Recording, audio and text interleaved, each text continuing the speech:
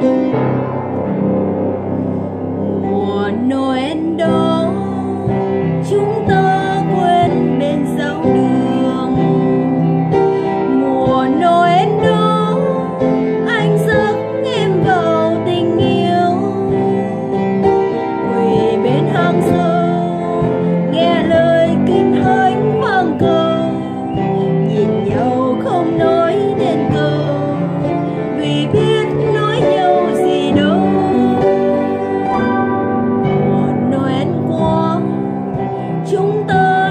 tay ra từ